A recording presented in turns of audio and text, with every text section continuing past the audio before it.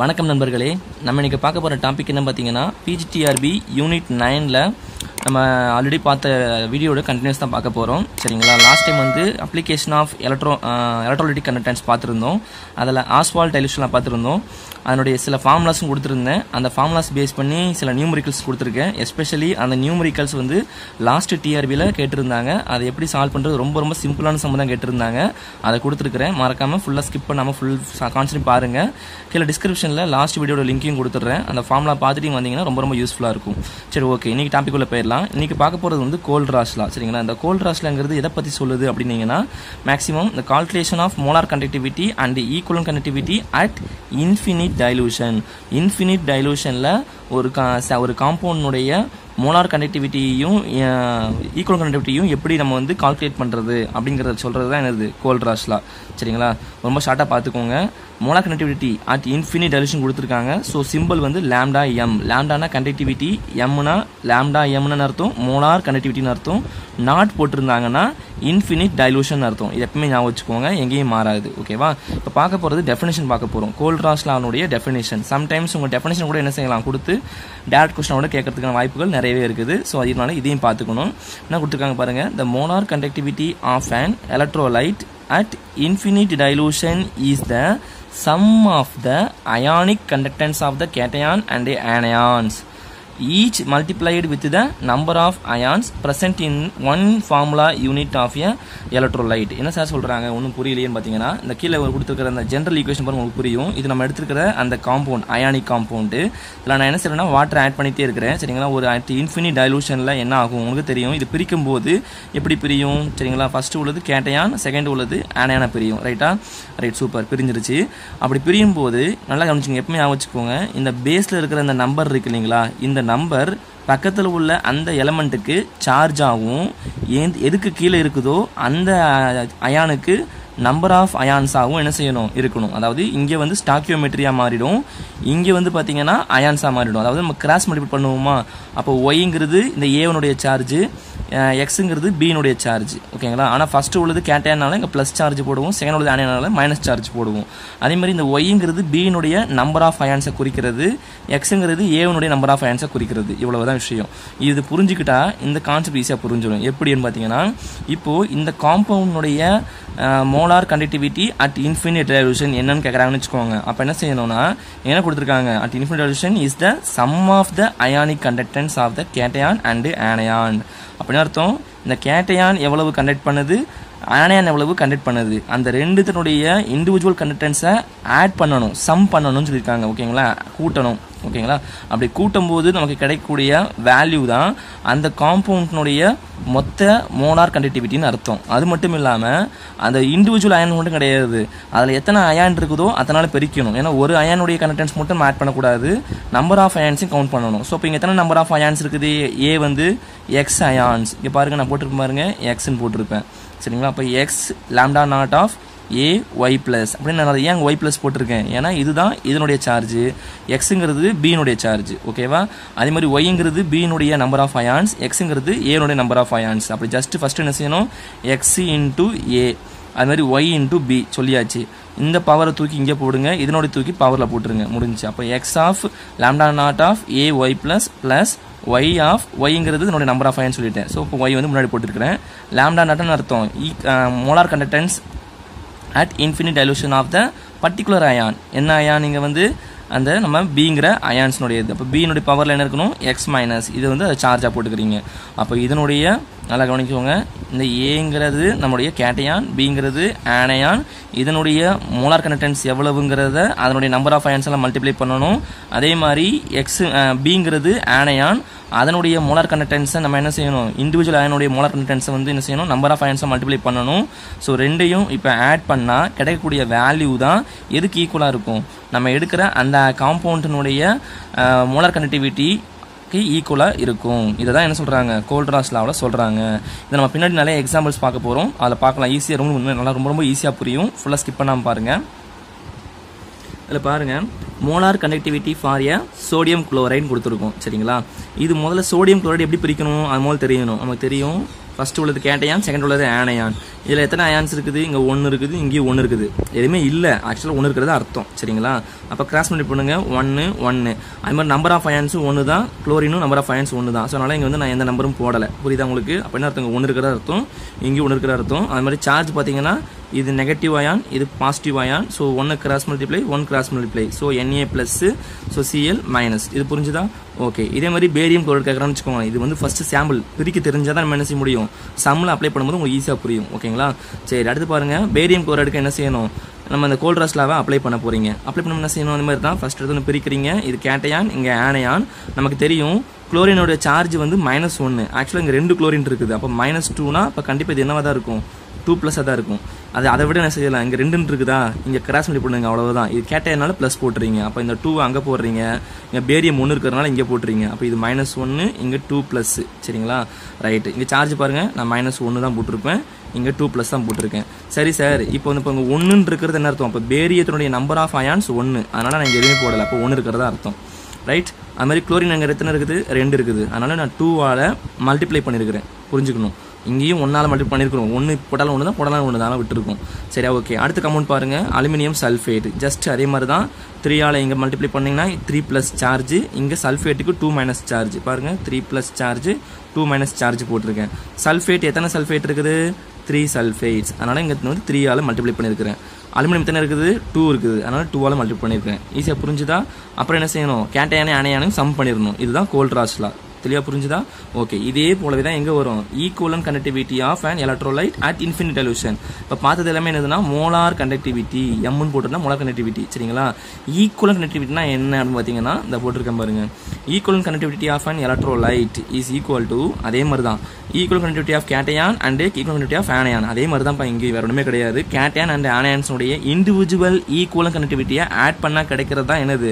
Equivalent conductivity of an electrolyte இதை நீங்கள் ஃபார்முலாவாக இதே மாதிரி எழுதிக்க வேண்டியது தான் வேற ஒன்றும் கிடையாது. சரிங்களா? சரி ஓகே இப்போ நம்ம சமூகத்தில் போகலாம் இப்போ நான் பா- சொன்னதை உங்களுக்கு புரிஞ்சுக்கணும்னு நினைக்கிறேன். இதை தான் நாங்கள் அப்ளை பண்ண போகிறோம் இப்போ பாருங்கள் ஓகே எத்தனை டைப் ஆஃப் சம்ஸ் கேட்கலாம்? இந்த வந்து இந்த கோல்ட்ராஸ்ல அப்ளை பண்ணி எத்தனை விதமாக கேட்கலான்றதை நம்ம வந்து ஒவ்வொரு டைப்பில் ஒன்று கொடுத்துருக்குறேன். பாருங்க. ஃபஸ்ட்டு பாருங்க. Calculate the lambda naught for a CACL two calcium chloride and magnesium sulphate from the given data அப்படின்னு கொடுத்துருக்காங்க. இப்போ நமக்கு தெரியும் கால்சியம் டூ ப்ளஸ் சொல்லியிருக்காங்க. ஒரு காம்பவுண்ட் கொடுத்துருந்தாங்கன்னா அதனுடைய கேட்டையான் அதனுடைய ஆனையானுடைய இண்டிவிஜுவல் கண்டக்டன்ஸை ஆட் பண்ணால் கிடைக்கிறது தான் எனது அந்த ஹோல் காம்பவுண்டுடைய மோலார் கண்டக்டிவிட்டி அண்டு ஈக்குவலன் கண்டக்டிவிட்டின்னு பார்த்துட்டோம் நம்ம. சரிங்களா?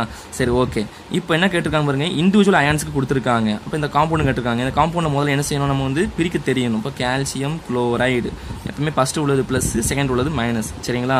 இங்கே டூ இருக்குது அதனால கால்சியம் டூ ப்ளஸ்ஸு இங்கே ஒன்று இருக்குது அதனால குளோரின் மைனஸ் ஒன் எத்தனை குளோரின் இருக்குது? ரெண்டு இருக்குது. அப்போ குளோரினுடைய வேல்யூவை டூவால் மல்டிப்ளை பண்ணணும். அது மாதிரி கால்சியத்துக்கு வந்து பார்த்தீங்கன்னா ஒன்று இருக்குது. அப்போ இங்கே ஒன்றால் தான் மல்டிப்ளை பண்ண போகிறீங்க சரிங்களா? சரி ஓகே இப்போ பாருங்கள் கால்சியத்துக்கு இப்போ இது வந்து இங்கே கொடுத்துருக்கிறது ஒரு கால்சியத்தினுடைய molar conductivity at infinite dilution கொடுத்துருக்காங்க. எவ்வளவு?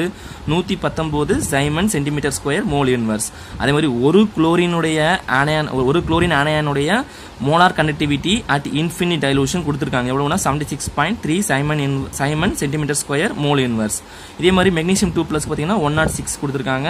சல்ஃபேட் அயானுக்கு வந்து ஒன் சிக்ஸ்டி கொடுத்துருக்காங்க. சரிங்களா? ஃபர்ஸ்ட் இப்போ கால்சியம் குளோரைட் கண்டுபிடிப்போமா? பாருங்கள் lambda naught at that means molar conductivity at infinite dilution எவ்வளவு? யாருக்கு கண்டுபிடிக்கிறீங்க கால்சியம் குளோரைட் கண்டுபிடிக்க போறீங்க. அப்போ ஃபர்ஸ்ட் இது அயான்ஸாக பிரிச்சு எழுதலாமா? வழக்கம் போல அப்ளையும் கோல்ட்ராஸ்லா அப்போ இதை பிரிச்சு நம்ம சொன்ன மாதிரி? இது பிரிக்கிறீங்க. அப்போ இங்கே டூ ப்ளஸ் இங்கே மைனஸ் ஒன்று இங்கே ரெண்டு அயான் இருக்குது இங்கே ஒரு அயான் இருக்குது. ஸோ இப்போ இங்கே ஒன்றால் மல்டிப் பண்ணியிருக்கீங்க இங்கே டூவால் பெருக்கிருக்கிறீங்க. நமக்கு தெரியும் கால்சியம் டூ ப்ளஸுக்கு ஒரு கால்சியம் டூ ப்ளஸுக்கு நூற்றி பத்தொம்போது ஸோ அந்த வேல்யூவை இங்கே சப்ஸ்டியூட் பண்ணுறீங்க புரிஞ்சுதா?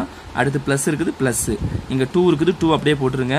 Lambda naught for the chloride ion எவ்வளோ கொடுத்துருக்காங்க? செவன்ட்டி சிக்ஸ் பாயிண்ட் த்ரீ இது வந்து ஒரு அயானுக்கு உள்ளது ஆனால் இங்கே டூ அயான்ஸ் இருக்குது. அப்போ என்ன செய்யணும்? டூவால் மல்டிப்ளை பண்ணிடணும். ஸோ அப்போ நமக்கு மல்டிப்ளை பண்ணிவிட்டு ப்ளஸ் இது ரெண்டுத்தையும் ஆட் பண்ணிங்கன்னா நமக்கு கிடைக்கக்கூடிய answer two seventy one point six siemens centimetre square mole inverse ஓகேங்களா அடுத்து பார்த்தீங்கன்னா மெக்னீசியம் சல்ஃபேட் இதுவும் அதே மாதிரி தான் நமக்கு யூஸ்வலாக தெரியும். மெக்னீசியம்னாலே நினச்சிக்கோங்க சல்ஃபேட்னாலே நான் கண்டிப்பாக டூ மைனஸ் தான். அப்படிங்கும்போது இதுவும் டூ ப்ளஸ் தான்.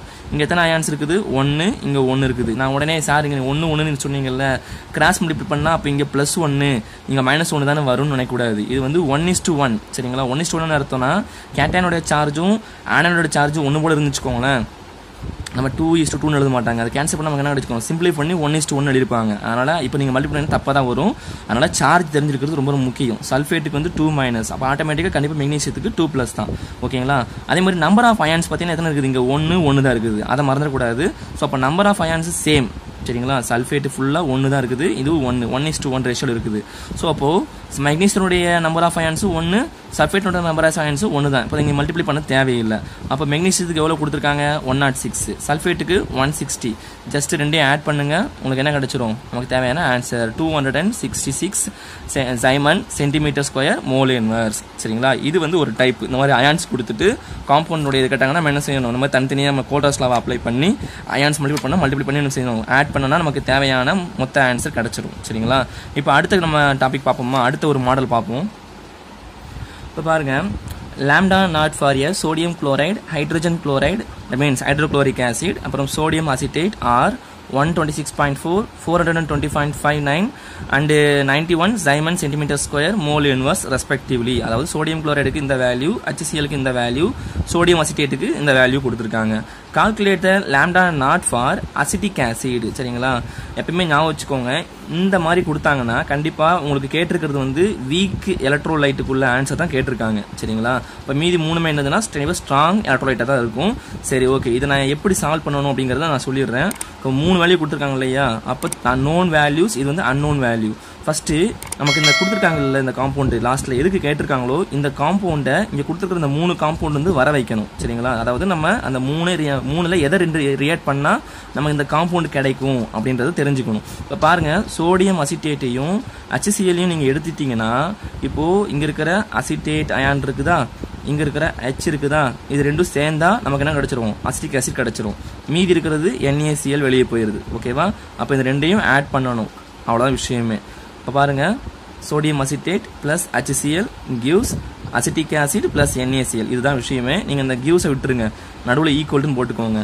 இப்போ உங்களுக்கு என்ன கேட்டிருக்காங்க? இந்த வேல்யூ கொடுத்துருக்காங்க. இதனுடைய வேல்யூ கொடுத்துருக்காங்க. என்ஏசிஎல் வேல்யூ கொடுத்துருக்காங்க. ஸோ இதனுடைய வேல்யூ நமக்கு தெரிய தேவைப்படுது. அப்போ நம்ம என்ன செஞ்சிடலாம்? நமக்கு ஆல்ரெடி நார்மலாக தெரியும் இல்லையா? ஸோ இன்னும் அன்னோன் மட்டும் வச்சுக்கோங்க. நோன் ஃபுல்லாக ஒரு கொண்டு போயிருங்க. அப்போ இங்கே ப்ளஸில் இருக்குது. இங்கிட்டு போனால் இது என்ன ஆயிரும்? இந்த பக்கம் போனால் மைனஸ் ஆயிரும். சரிங்களா? ஸோ லேம்டா நாட் ஃபார் யார் கேட்டிருக்காங்க?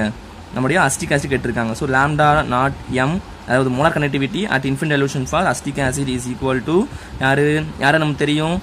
சோடியம் அஸ்டேட்னுடைய மோலார் கனெக்டிவிட்டி நமக்கு தெரியும். ஸோ அது plus lambda naught for the HCL தெரியும். இது அங்கிட்டு போச்சுன்னா மைனஸ் ஆயிரும். So minus lambda naught M sodium chloride போட்டாச்சு. இப்போ நமக்கு இந்த வேல்யூஸ் ஃபுல்லாக தெரியும் இல்லையா சோடியம் அஸ்டேட்டுக்கு எவ்வளவு?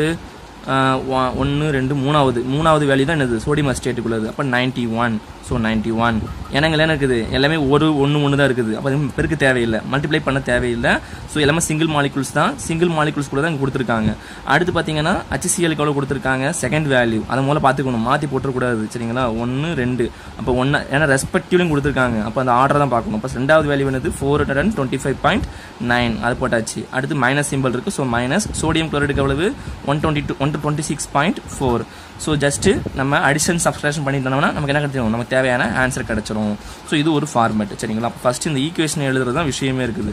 அப்புறம் மற்றதெல்லாம் அப்ளை பண்ணி கூட்ட கழிச்சிடலாம் ஈஸியாக முடிச்சிடலாம். ஓகேங்களா சரி. அடுத்து பாருங்கள் இப்போ பாருங்கள் lambda naught for barium hydroxide எவ்வளோ கொடுத்துருக்காங்க? Four hundred and fifty six point six அந்த யூனிட் பார்த்துக்கோங்க சரிங்களா? பேரியம் குளோரைடுக்கு டூ ஃபார்ட்டி பாயிண்ட் சிக்ஸு அதுமாதிரி ammonium குளோரைடுக்கு one twenty nine point eight சரிங்களா? மூணு வேல்யூ கொடுத்துட்டாங்க. அன்னோன் வேல்யூ யாருக்கு கண்டுபிடிக்கணும்? லேம்டா நாட் கண்டுபிடிக்கணும் பார்த்தோம்னா அமோனியம் ஹைட்ராக்சைடு அதே கொஸ்டின் பேட்டர்ன் தான் இதுவும். சரிங்களா? வேற வேற காம்பவுண்டு பேரியம் ஹைட்ராக்சைடுக்கு இவ்வளவு கண்டக்டிவிட்டி பேரியம் குளோரைடுக்கு இவ்வளவு ஸோ அமோனியம் குளோரைடுக்கு இவ்வளவு. சரிங்களா? மூணையும் வச்சு நம்ம என்ன செய்யணும்? அமோனியம் ஹைட்ராக்சைடு கண்டுபிடிக்கணும். சரிங்களா? ஸோ நான் சொன்ன அதே ஃபார்மேட்டை ஃபாலோ பண்ணுங்க கிடச்சிரும். இந்த ரெண்டு கொஸ்டினும் சேம் தான். ஸோ அதனால நீங்கள் அதுக்கு வந்து ஆன்சர் பண்ண தேவையில்லை. இந்த கொஸ்டினுக்குள்ள ஆன்சரை நீங்கள் கமெண்ட் பாக்ஸில் கமெண்ட் பண்ணுங்கள் சரிங்களா? ஓகே ரைட் இப்போ நான் அடுத்து வந்து நான் சொன்ன இல்லையா பத்தொம்போது டிஆர்பியில் உங்களுக்கு கேட்டேன் ரெண்டு கொஷினை நான் இப்போ சொல்ல போகிறேன் ஓகே இப்போ பாருங்கள் Celsius the degree of the of zero point one molarity weak uh, was found to be zero point five the dissociation constant of the acid is இதுதான் பிடிஆர்பி ரெண்டாயிரத்தி பத்தொம்போதில் கேட்ட ஒரு கொஸ்டின் சரிங்களா? இது நான் இதுவும் நான் கரெக்டாக ஆன்சர் பண்ணிட்டேன் இதுவும் நான் கரெக்டாக ஆன்சர் பண்ணிட்டேன் சரிங்களா? ஓகே ரைட் சூப்பர் இப்போ பாருங்கள் நாலு ஆப்ஷன் கொடுத்துருக்காங்க. Point naught one point naught five அப்புறம் point naught naught five point naught two five கொடுத்துருக்காங்க. ரொம்ப ஈஸி என்னென்ன கொடுத்துருக்காங்க மூலம் பார்க்கணும். The degree of dissociation of point one molarity இது வந்து கான்சன்ட்ரேஷன் சரிங்களா? Weak acid was found to be zero point five அப்போ இதான் என்னது? டிகிரி ஆஃப் டிசோசியேஷன் கொடுத்துருக்காங்க. அப்போ டிகிரி சொன்ன அர்த்தம் ஆல்ஃபா வேல்யூ கொடுத்துருக்காங்கன்னு அர்த்தம். த டிசோசியேஷன் கான்ஸ்டன்ட் கேட்டிருக்காங்க. அப்படின்னா என்ன அர்த்தம்? நமக்கு தெரியும். அந்த ஃபார்முலா படிக்கும்போது கேனா என்ன? ஆல்ஃபானா என்ன? அப்படிங்கிறது அந்த இண்டிவிஜுவல் டேர்ம்ஸையும் படிச்சுக்கணும். அப்படின்னா தான் உங்களுக்கு சம்மில் வந்து அப்ளை பண்ண முடியும். சரிங்களா? அப்போ டிசோசியேஷன் கான்ஸ்டன்ட் கேட்டிருக்காங்க. டிசோசியேஷன் கான்ஸ்டன்ட்டுக்கும் ஆல்ஃபாவுக்கும் என்ன ரிலேஷன்ஷிப்னு முதல்ல பார்க்கணும். அதை வச்சு தான் நம்ம என்ன செய்யணும்? எந்த ஃபார்ம்லான்னு சொல்ல முடியும் சரிங்களா?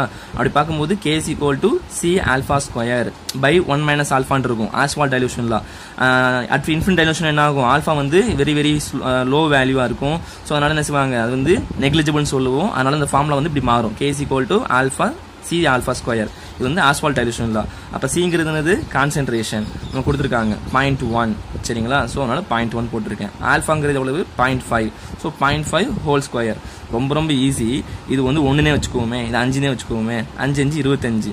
அப்போ இருபத்தஞ்சுங்கும் போது வேறு என்ன ஆன்சர் இருக்குது? வேறு எதுவுமே கிடையாது. ரொம்ப ரொம்ப ஈஸி ஸோ அதனால் ஆன்சர் வந்து டி சிம்பிளாக போட்டு போயிடலாம். சரிங்களா? இவ்வளோதான் கான்செப்ட் ஓகே ரைட் இது பத்தொம்பது தேர்வில் கேட்டிருக்கிறது. உங்களுக்கு டவுட் இருந்ததுன்னா கொஸ்டின் எடுத்து செக் பண்ணி பார்த்துக்கோங்க. ரைட் அடுத்து இன்னொரு கொஸ்டின் கேட்டிருந்தாங்க. அதே டிஆர்பி தான். போன லாஸ்ட் டிஆர்பி நான் பாஸ் பண்ண அந்த டிஆர்பியில் கேட்ட கொஸ்டின் இதுதான். The equivalent conductance of point nought five normality of HCL acid was found to be point five into ten the power of minus four mho metre square at thousand kelvin thousand கெல்வினில் இந்த compound இவ்வளோ concentration உள்ள HCL ஆசிட்னுடைய equal conductance எவ்வளோனா இவ்வளோ வேலைன்னு சொல்லிட்டாங்க சரிங்களா? It's degree of dissociation at this concentration அதே கான்சென்ட்ரேஷனில் அதனுடைய டிகிரி ஆஃப் டிசோசியேஷன் எந்த அளவுக்கு அது டிசோசியேட் ஆகி அயன்ஸாக மாறுது அப்படின்னா பாயிண்ட் டூ அதாவது ஆல்ஃபா வேல்யூ கொடுத்துருக்காங்க டிகிரி டிசோசியேஷன் சரிங்களா? இது வந்து ஈக்குவல் கண்டக்டிவிட்டி லேம்டா இக்யூ ஞாபகம் வச்சுக்கோங்க. Right at then the equivalent conductance at infinite dilution அப்போ என்ன கேட்டிருக்காங்கன்னா அதே தான் ஈக்குவல் கண்டக்டன் கேட்டிருக்காங்க. எப்போ? நீங்கள் வாட்டரை ஆட் பண்ண பண்ண அதனோட கண்டக்டிவிட்டி எவ்வளோ மாறுதுன்னு கேட்டிருக்காங்க. இதுதான் கொஸ்டின் சரி ஓகே ஆப்ஷன்ஸ் நாலு ஆப்ஷன் கொடுத்துருக்காங்க. இப்போ பாருங்கள் ஃபார்முலா என்னது? நமக்கு என்ன கொடுத்துருக்காங்க பாருங்கள் ஈக்குவலன் கண்டக்டிவிட்டி கொடுத்துட்டாங்க. லாஃபா கொடுத்துட்டாங்க. இன்ஃபினிட் டைலூஷனில் அதே கனெக்டிவிட்டி எப்படி மாறுதுன்னு கேட்டிருக்காங்க. அப்போ ரெண்டுத்துக்குள்ள ரிலேஷன்ஷிப் என்ன? அந்த மூணுத்துக்கும் பார்த்தீங்கன்னா நம்மகிட்ட ஒரே ஃபார்முலா தான் இருக்குது. என்ன formula alpha equal to lambda m by lambda nought m lambda எம்ங்கிறது நமக்கு ஆல்ரெடி கொடுத்துருக்கிற கான்சென்ட்ரேஷன் லேம்டா நாட் எம்ங்கிறது இன்ஃபினிட் டைலூஷனில் அந்த கனெக்டிவிட்டி எப்படி மாறுதுங்கிறது. இவ்வளோதான் விஷயமே. ஸோ லேம்டா நாட் எம் முடிஞ்சு போச்சு. இப்போ நமக்கு என்ன கொஸ்டின் கேட்டிருக்காங்க? இதான் கேட்டிருக்காங்க. லேம்டா நாட் எம்ல எவ்வளோன்னு கேட்டிருக்காங்க. மற்ற ரெண்டும் கொடுத்துருக்காங்க. அப்போ ஃபார்முலாவை நம்ம என்ன செய்யலாம்? ரீஅரேஞ்ச் பண்ணிக்கலாம். ஸோ இங்கே கொண்டு போவாங்க ஆல்ஃபா அங்கிட்டு கொண்டு வந்துருங்க முடிஞ்சு போச்சு. ஸோ அப்ளை பண்ணுறீங்க லேம்டா எம் எவ்வளவு? Point five into ten power of minus four alpha எவ்வளவு? பாயிண்ட் டூ ஸோ ரெண்டு நீங்கள் டிவைட் பண்ணிங்கன்னா ரொம்ப ரொம்ப ஈஸி அஞ்சு பை ரெண்டுன்னு வச்சுக்கோங்க தோராயமா சரிங்களா? அஞ்சு பை ரெண்டு. ஓ ரெண்டு ரெண்டு. இரண்டு நாலு. சரிங்களா? முடிஞ்சிச்சு. அப்போ டூ மீதி ஒன்று இருக்குது. அப்போனா ஐ ரெண்டாக பத்து வரும். ஸோ இப்போ டூ பாயிண்ட் ஃபைவ் தோராயமாக வருது. இங்கே பார்த்தோன்னா பாயிண்ட் டூ தான் இங்கேயும் பாயிண்ட் ஃபைவ் தான் இருக்குது. அப்போ இது கேன்சல் ஆயிரும். அப்போ அஞ்சு பை ரெண்டு தான் கணக்கு வரும். அப்போ கண்டிப்பாக டென் பவர் மைனஸ் ஃபோர் மாறவே மாறாது. ஸோ இப்போ two point five into ten power of minus four so answer is correct ஓகேங்களா? ரொம்ப ரொம்ப சிம்பிள். பார்த்துக்கோங்க. ஓகே ஃப்ரெண்ட்ஸ் நீங்கள் நான் சொன்ன விஷயங்கள்லாம் உங்களுக்கு புரிஞ்சுக்கணும்னு நினைக்கிறேன்.